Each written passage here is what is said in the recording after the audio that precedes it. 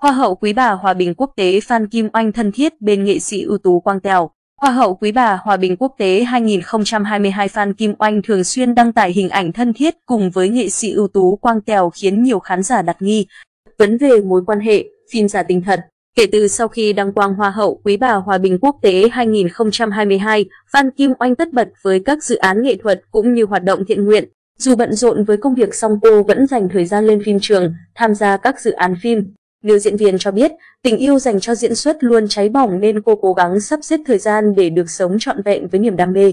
Bên cạnh việc hoàn thành sứ mệnh của một hoa hậu, mới đây xuất hiện tin đồn Phan Kim Oanh đang có mối quan hệ tình cảm với nghệ sĩ Quang Tèo. Nguồn tin xuất phát từ việc cả hai thường xuyên xuất hiện cùng nhau trong các dự án phim và có mối quan hệ thân thiết ngoài đời. Trong phim Làng Ế Vợ và Đại gia chân đất, Phan Kim Oanh đảm nhận vai diễn vợ của nhân vật do nghệ sĩ Quang Tèo đóng. Thế nên, chị và Quang Tèo rất thân thiết trên phim trường. Trên trang cá nhân, Phan Kim Oanh cũng thường xuyên đăng tải hình ảnh chụp cùng bạn diễn. Cô từng tiết lộ, được nghệ sĩ Quang Tèo hỗ trợ nhiều trong quá trình diễn xuất, nhờ vậy mà nữ diễn viên tự tin hơn khi hóa thân, hoàn thành tốt những vai diễn được giao. Phan Kim Oanh từng chia sẻ, mỗi lần quay cùng anh Quang Tèo, chúng tôi đều ngồi nói chuyện với nhau trước, vì thế khi vào cảnh quay, anh em diễn khán ăn ý. Anh Quang Tèo rất nhiều năng lượng, tạo sự vui tươi tại đoàn. Không những thế, việc Hoa hậu Phan Kim Oanh và Quang Tèo thường xuyên có hành động thân thiết khi tham gia sự kiện càng khiến nhiều người đặt nghi vấn hẹn hò.